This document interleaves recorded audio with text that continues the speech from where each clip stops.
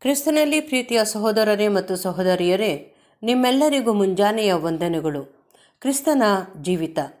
ಪಾಠದ ಹೆಸರು ಆಕಾಶದಲ್ಲಿ ಒಂದು ಸೂಚನೆ. ರೀಪ್ರಿನ್ಸ್ ಪುಟ ಫೈವ್ ಒನ್ ಒನ್ ಒನ್. ಪುಟದ ಸಂಖ್ಯೆ ನೂರ ತೊಂಬತ್ತು ನೂರ ತೊಂಬತ್ತ ಒಂದು ನೀವು ಇನ್ನೂ ಗ್ರಹಿಸಲಿಲ್ಲವೋ? ಪರಿಸಾಯರ ಹುಳಿ ಹಿಟ್ಟಿನ ಬಗ್ಗೆ ಸಾಮ್ಯ ಸಾಮ್ಯರೂಪದ ಹೇಳಿಕೆಯಲ್ಲಿನ ಅಂಶವನ್ನು ಗ್ರಹಿಸುವಲ್ಲಿ ಶಿಷ್ಯರು ವಿವೇಚನೆಯಿಲ್ಲದೆ ತಪ್ಪು ತಪ್ಪಿ ಹೋಗಿದ್ದರು.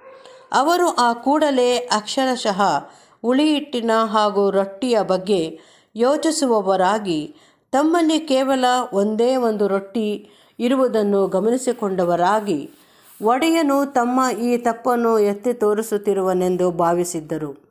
ಅವರ ಮನೋನೇತ್ರಗಳನ್ನು ಅಂದರೆ ಗ್ರಹಿಸಿಕೊಳ್ಳುವ ಕಣ್ಣುಗಳು ವಿಶಾಲವಾಗಿ ತೆರೆಯಲ್ಪಟ್ಟಿರಲಿಲ್ಲ ಮತ್ತು ಏಸುವು ಪ್ರಾಮಾಣಿಕವಾಗಿ ಮತ್ತು ಬಹು ಸರಳವಾಗಿ ಇದನ್ನು ಹೇಳಿದ್ದನು.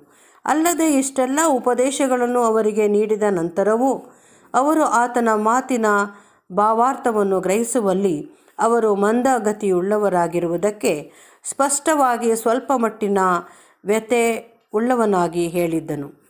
ಆತನು ಐದು ರೊಟ್ಟಿಯಿಂದ ಐದು ಸಾವಿರ ಜನರಿಗೆ ಊಟ ಮಾಡಿಸಿದ ಅದ್ಭುತವನ್ನು ಅವರ ನೆನಪಿಗೆ ತಂದು ಅವರು ತುಂಡುಗಳನ್ನು ಎಷ್ಟು ಪುಟ್ಟಿಗಳಲ್ಲಿ ಕೂಡಿಸಿದ್ದರೆಂದು ಕೇಳಿದನು. ಅವರು ಹನ್ನೆರಡು ಎಂದು ಉತ್ತರಿಸಿದರು. ಆತನು ಇನ್ನೊಂದು ಸಾರಿ ಏಳು ರೊಟ್ಟಿಯಿಂದ ನಾಲ್ಕು ಸಾವಿರ ಜನರಿಗೆ ಊಟ ಮಾಡಿಸಿದ ಅದ್ಭುತವನ್ನು ಅವರ ನೆನಪಿಗೆ ತಂದು ಅವರು ಎಷ್ಟು ಪುಟ್ಟಿಗಳನ್ನು ತೆಗೆದುಕೊಂಡು ಹೋದರೆಂದು ಕೇಳಿದನು. ಅವರು ಏಳು ಎಂದು ಉತ್ತರ ಕೊಟ್ಟರು. ಹಾಗಾದರೆ ನೀವು ಒಂದು ರೊಟ್ಟಿಯನ್ನು ಹೊಂದಿರುವ ಬಗ್ಗೆ ನಿಮ್ಮಲ್ಲಿ ತಪ್ಪನ್ನು ಹುಡುಕುತ್ತಿಲ್ಲವೆಂಬುದನ್ನು ನೀವು ಗ್ರಹಿಸಿಕೊಳ್ಳದೆ ಇರುವುದು ಹೇಗೆ? ನನಗೆ ಹಿಂದೆ ರೊಟ್ಟಿಯನ್ನು ಉಂಟು ಮಾಡುವ ಶಕ್ತಿ ಇದ್ದಲ್ಲಿ ಖಂಡಿತವಾಗಿಯೂ ಈಗಲೂ ನಾನು ಆ ಶಕ್ತಿಯನ್ನು ಹೊಂದಿರುವೆನು. ಮತ್ತು ನಿಮ್ಮಲ್ಲಿ ರೊಟ್ಟಿಯಿಲ್ಲದೆ ಇರುವುದನ್ನು ನಾನು ಸೂಚಿಸಲು ಸಾಧ್ಯವಿಲ್ಲವೆಂದು ಹೇಳಿದ್ದನು. ಸತ್ಯವೇದವನ್ನು ಪದೇ ಪದೇ ಅಧ್ಯಯನ ಮಾಡುವ ಕರ್ತನ ಜನರಲ್ಲಿ ಇದೇ ವಿಷಯವನ್ನು ಈ ದಿನವೂ ಗಮನಿಸಬಹುದು. ಕೆಲವು ಸಣ್ಣ ಸಣ್ಣ ಸಾಂದರ್ಭಿಕ ಸಂಗತಿಗಳ ಸುತ್ತ ತಮ್ಮ ಮನಸ್ಸುಗಳನ್ನು ಕೇಂದ್ರೀಕರಿಸಿಕೊಂಡು ಕೆಲವರು ಕರ್ತನ ಉಪದೇಶಗಳಲ್ಲಿನ ಭಾವಾರ್ಥಗಳನ್ನು ಗ್ರಹಿಸುವಲ್ಲಿ ಸಂಪೂರ್ಣವಾಗಿ ತಪ್ಪಿ ಹೋಗಿರುವರು. ಇದಕ್ಕೆ ಪರಿಹಾರವೆಂದರೆ ದೇವರೊಂದಿಗೆ ಸನಿಹವಾಗಿ ನಡೆಯುವುದು. ದೇವರ ವಾಕ್ಯಗಳನ್ನು ಬಹು ಎಚ್ಚರಿಕೆಯಿಂದ ಅಧ್ಯಯನ ಮಾಡುವುದು. ಒಡೆಯನ ಹೆಜ್ಜೆಜಾಡನ್ನು ಅನುಸರಿಸುವವರಾಗಿ ಆತನ ಮನೋಭಾವದಲ್ಲಿ ಮತ್ತು ಆತನ ಕಾರ್ಯಗಳಲ್ಲಿ ಸೇರಿ ಪಾಲುಗಾರರಾಗುವುದು.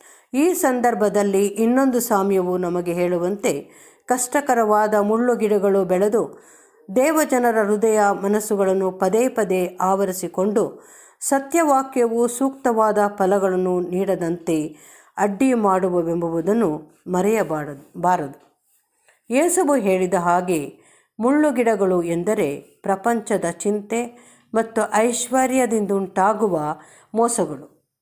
ಬೆತ್ಸಾಯಿದಕ್ಕೆ ಬಂದಾಗ ಒಬ್ಬ ಕುರುಡನನ್ನು ಸ್ವಸ್ಥಪಡಿಸಿಕೊಳ್ಳುವ ಬಯಕೆಯಿಂದ ಆತನ ಬಳಿಗೆ ಕರೆತರಲಾಗಿತ್ತು. ಯೇಸುವು ಆತನ ಕೈ ಹಿಡಿದುಕೊಂಡು ಹಳ್ಳಿಯವರೆಗೆ ಕರಕೊಂಡು ಹೋದನು.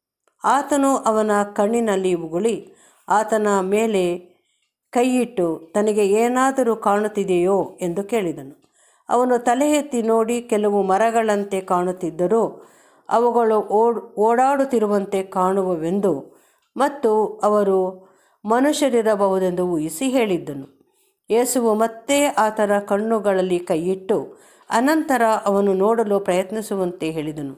ಆತನು ಹಾಗೆಯೇ ಮಾಡಿ ಸ್ಪಷ್ಟವಾಗಿ ನೋಡುವಂತಾದನು. ಈ ವಿಧಾನವನ್ನು ಅನುಸರಿಸಿದ್ದರಲ್ಲಿ ಉದ್ದೇಶವು ನಮಗೆ ಸ್ಪಷ್ಟವಾಗಿಲ್ಲ. ಆದರೆ ಆ ಮನುಷ್ಯನಲ್ಲಿ ನಂಬಿಕೆ ಕಡಿಮೆ ಇದ್ದು, ಯೇಸುವು ಅದನ್ನು ಸ್ವಲ್ಪ ಸ್ವಲ್ಪವಾಗಿ ವೃದ್ಧಿಗೊಳಿಸಿರುವ ಸಂ, ಸಂಭವವು ಬಹಳವಾಗಿತ್ತು. ಆ ಅಂಶವು ಆತನ ಕಡೆಯ ಹೇಳಿಕೆಯಲ್ಲಿ ಅಂದರೆ ಆತನು ಸ್ಥಿರವಾಗಿ ನೋಡಿ ಕೆಲವು ಸಮಯ ನೋಡುತ್ತಲಿದ್ದು, ಅನಂತರ ಅವನು ಎಲ್ಲವನ್ನು ಸ್ಪಷ್ಟವಾಗಿ ಕಾಣುತ್ತದೆಂದು ಹೇಳಿದ್ದರಲ್ಲಿ ಸಮರ್ಥನೆಯಾಗಿರುವುದು. ಆ ಮನುಷ್ಯನು ತನ್ನ ಇಚ್ಛಾಶಕ್ತಿಯನ್ನು ಪೂರ್ಣವಾಗಿ ಬಳಸಿಕೊಂಡು ವಸ್ತುಗಳನ್ನು ನೋಡಲು ಯತ್ನಿಸಬೇಕಾ ಯತ್ನಿಸಬೇಕೆಂಬುವುದನ್ನು ಕರ್ತನು ಸ್ಪಷ್ಟವಾಗಿ ಬಯಸಿದ್ದನು.